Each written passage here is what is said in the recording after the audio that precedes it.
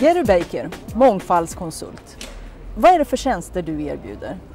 Uh, vi erbjuder ett uh, antal tjänster som uh, först och främst lyfter fram möjligheter kring mångfald.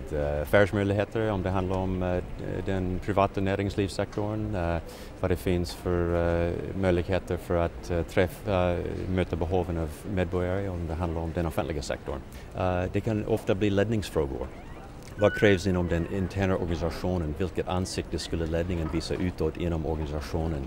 Vilka krav skulle ledningen ställa på sina chefer till exempel?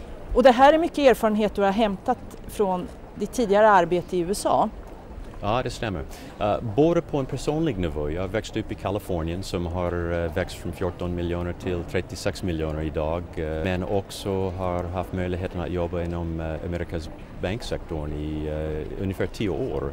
Uh, både genom att starta upp nya avdelningar på två banker i Kalifornien, men också att driva en konsulttjänst på ett stort konsultföretag. Och vad är det du kan lära oss här i Sverige nu mm. som du ha med dig från USA? Mitt största uppdrag som jag ser på den här i Sverige är att lyfta mångfald på ett positivt sätt. Uh, det är något som, som tog oss flera decennier i USA att, att börja se på mångfald ur ett, genom positiva glasögon. Och vi, uh, vi lärde oss efter några år att vi hade missat stor eh, andel av marknaden eh, genom att vi hade missat en, en förståelse för dessa unika kundgrupper som befinner sig i USA och i dagsläget i Sverige också. Vad har man för nytta av att boka just dig?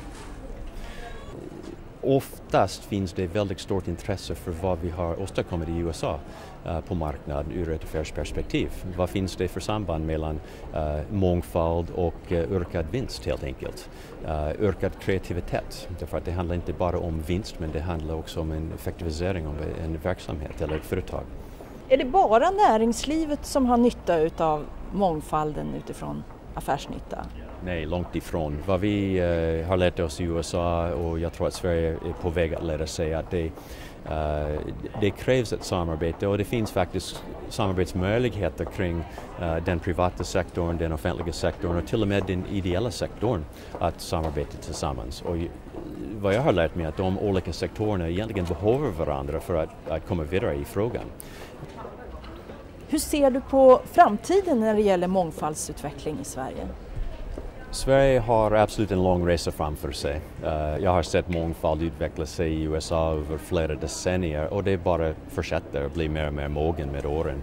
Uh, tills dagsläget ser vi på mångfald ur ett uh, väldigt inkluderande begrepp som är eh, vad jag anser är den mest mogen sätt att se på frågan.